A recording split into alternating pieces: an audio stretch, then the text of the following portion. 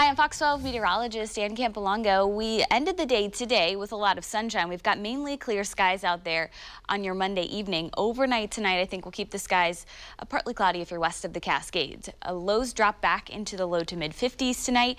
And then tomorrow, it looks like this. I think we start off with a little bit of sunshine during uh, the morning and midday hours.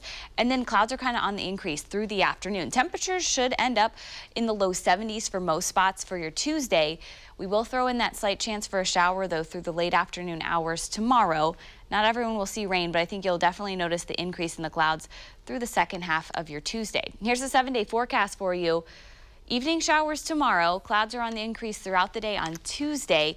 And then Wednesday, Thursday, and Friday, that's when our next system rolls through. That'll bring showers, clouds, and cooler temperatures to the area Wednesday, Thursday, and Friday here. We do have the chance for a few thunderstorms to pop up uh, Wednesday and Thursday afternoons, especially along and east of the Cascades.